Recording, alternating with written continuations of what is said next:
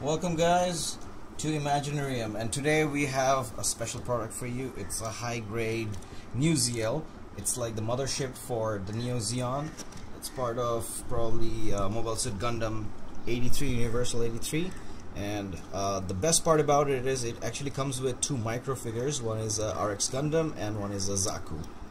So let's go ahead and do the unboxing and see what the thing is actually all about as I said, this is the mothership, so uh, comparatively this is supposed to be pretty big to the mobile suits themselves.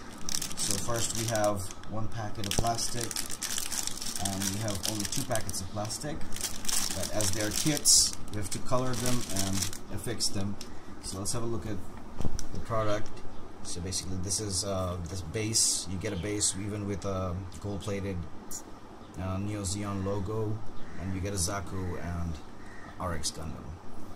So these are the specifications and let's have a look at the product itself. It's a fully colored page so we might as well just show it like this.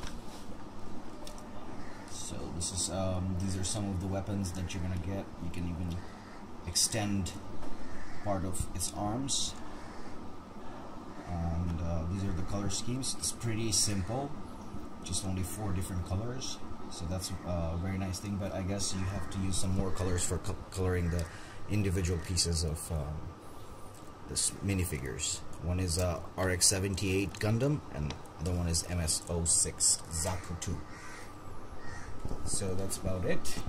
And uh, since this is a totally painted kit I guess we're not gonna get any sticker decals. So these are parts from the main thing and probably this this is the Neo Zeon logo, which you have to color it gold plated.